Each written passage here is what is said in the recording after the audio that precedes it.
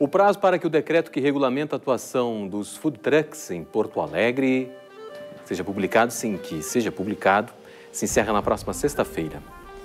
Mas o projeto vem recebendo crítica dos donos de restaurantes, principalmente na questão do valor da taxa de funcionamento.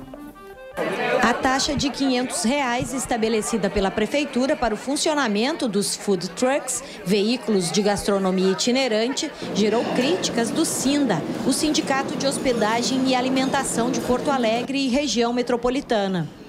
Os proprietários de hotéis e restaurantes estão insatisfeitos e dizem que o resultado da regulamentação é injusto. Primeiro, a questão da taxa.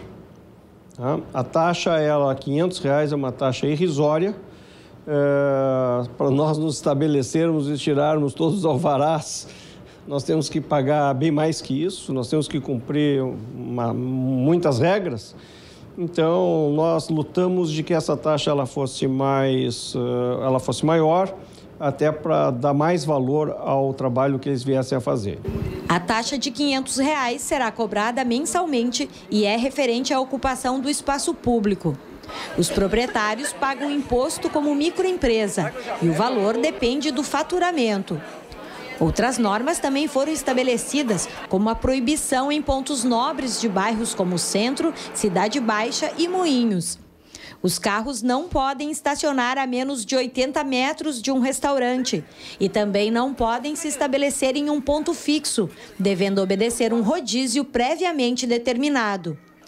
O vice-presidente da Associação de Proprietários de Food Trucks diz que estranha a posição do Sindicato dos Hotéis e Restaurantes. O ideal até é que a taxa fosse menor, como é cobrado de outros ambulantes, né?